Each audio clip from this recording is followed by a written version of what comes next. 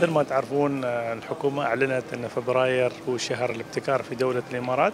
ابتدت وزارة المالية في أول فعالية قبل أسبوعين في إمارة أبو ظبي. أما فعاليات اليوم فكانت يعني محصورة أكثر في القطاعات المالية وأيضا بالوظائف اللي بتكون متوفرة للخريجين في المستقبل والمهارات اللي لابد أنها تكون متوفرة لكل خريج في المستقبل بالأخص كيفية تطوير التعليم وانتقال التعليم من النمط الحفظي الماضي السابق إلى النمط الابتكاري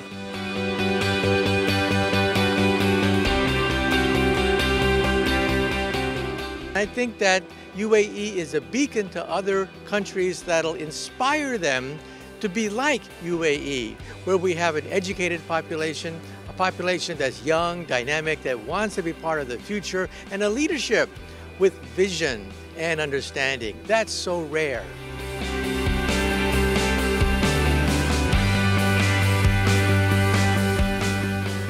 This has been a fantastic, wide ranging conversation about what the future is going to look like.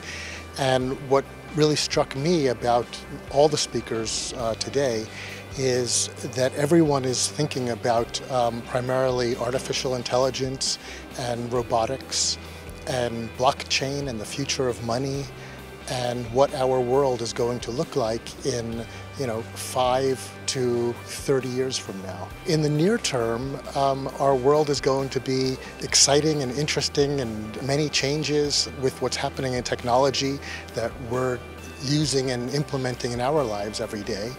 Um, what's less clear is when you start looking at a time horizon that goes so many decades away, what will that mean for our lives and the way that we're going to live?